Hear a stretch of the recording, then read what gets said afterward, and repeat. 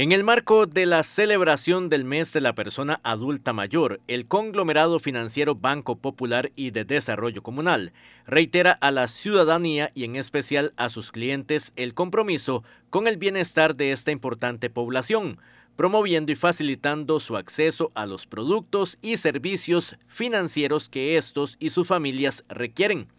En la actualidad, más de 475.300 personas adultas mayores son clientes del Popular, de los cuales más de 104.000 reciben su pensión con la entidad financiera quienes en muchos casos se acercan mes a mes a visitar las oficinas en todo el país, incluida la de San Isidro del General.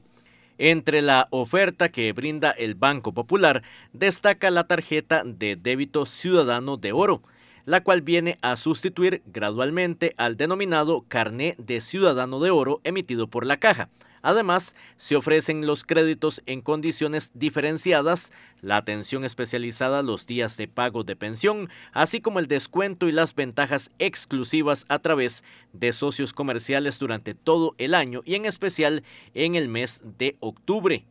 La entidad tiene disponible y orienta a esta población en el uso de múltiples opciones para el retiro de las pensiones, sin tener que ir hasta las oficinas comerciales, brindándoles así mayor seguridad y facilidad.